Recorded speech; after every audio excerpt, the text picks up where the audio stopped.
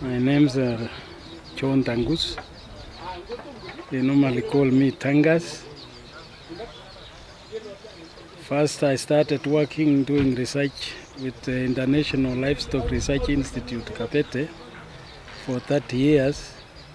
And that is where I was trained as an animal technologist. So, on my retirement, I went home and started working with farmers.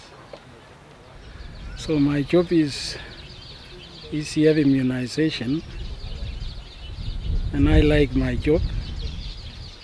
The ECF vaccine works very nicely and I'm among the 15 people who made the production of the same in the year 2007 to 2008 at Kabete Ilri.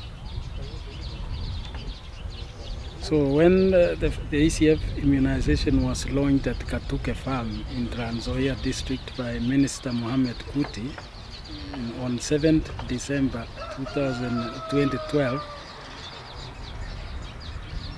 up to now I have vaccinated over 100 cows, 100,000 cows to date. And all the animals that I have vaccinated have no problems. I have not experienced any problem. And the farmers like the vaccine very much. The farmers like the vaccine. The vaccine is uh, Muguga cocktail vaccine. I move from county to county, and in a day um, I can vaccinate maximum of 200 cows without getting tired. I like the job very well, and I like saving the animals from the fatal disease which is East Coast fever.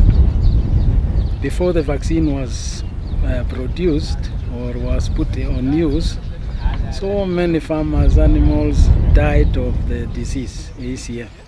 And since it was launched, it is very rare now to get ECF vaccine on the on the vaccinated cows.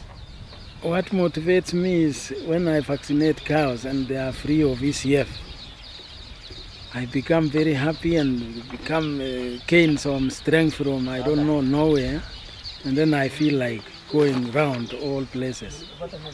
In fact, it is a good job, and I have a young man who is always assisting me when I'm at home doing the same. Although he's not yet trained, I'm, I'm planning for him to join a veterinary school. My message is to tell the world that veterinary profession is the best, is the best compared to any other other ministry in a, in a country. It's actually the best because we veterinarians give life to animals